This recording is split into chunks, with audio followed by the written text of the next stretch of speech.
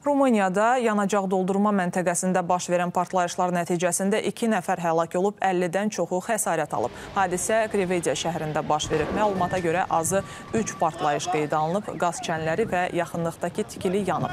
Xəsarət alanlar arasında yanğın söndürənlər və hüquq mühafizə orqanlarının əməkdaşları da var. Hadisə yerinə yaxın yaşayan sakinlər təxliyə edilib.